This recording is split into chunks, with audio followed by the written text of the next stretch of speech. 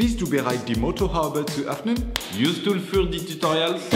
Und für die Autoteile ist die Mr. Auto App der richtige Reflex. Praktisch, schnell und günstigere Preis als auf der Website. Du findest die im Video verwendeten Boltscheibenwischer exklusiv auf der Website von Mr. Auto und als Link in der Beschreibung.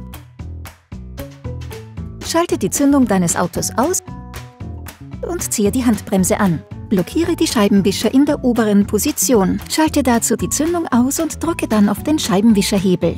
Hebe den Scheibenwischerarm an. Um das Scheibenwischerblatt zu entfernen, musst du auf die Öse drücken, während du gleichzeitig das Scheibenwischerblatt nach außen schiebst. Nimm dir das neue Scheibenwischerblatt zur Hand und bringe den Adapter an, der zu deiner Befestigung passt. Um das neue Scheibenwischerblatt einzusetzen, schiebst du den Scheibenwischerarm an seinen Platz. Leg den Scheibenwischerarm auf die Windschutzscheibe zurück, schalte die Zündung des Fahrzeugs ein und drücke dann auf den Scheibenwischerhebel. Alle Teile, die wir in diesem Tutorial verwenden, stammen von unseren vertrauenswürdigen Partnern, die uns auch dabei helfen. Du kannst sie dir gerne in der Beschreibung ansehen. Hebe den Scheibenwischerarm an, kippe das Scheibenwischerblatt um 45 Grad. Um das Scheibenwischerblatt zu entfernen, musst du auf die Öse drücken, während du gleichzeitig das Scheibenwischerblatt nach außen schiebst.